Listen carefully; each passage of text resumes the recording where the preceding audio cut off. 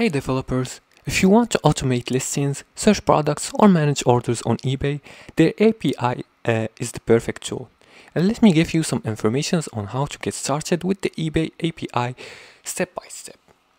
The first step is to create an eBay developer account. And to do that, just go to developer.ebay.com or search for developer eBay here and click on the first website right here.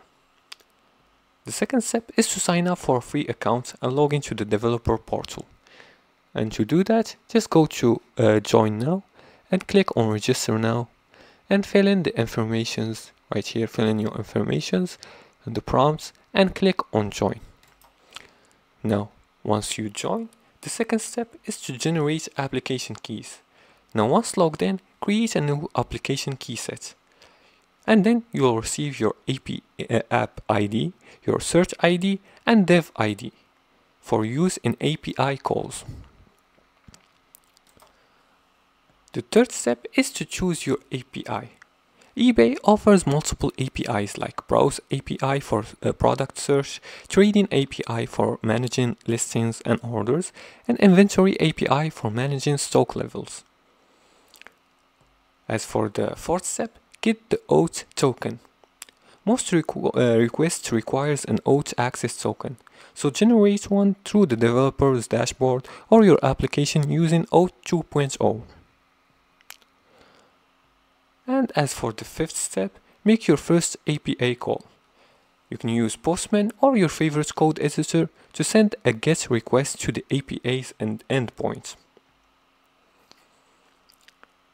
And make sure you include your authorization bearer account uh, bearer token in the header.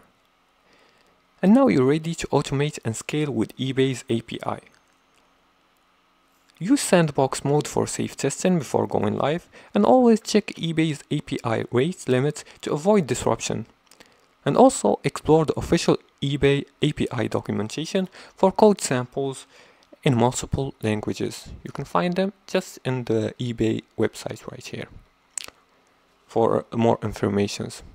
As you can see here you'll find guides uh, uh, for listing uh, metadata, guides for accounts uh, management, etc. and APIs. And that's it for today's tutorial.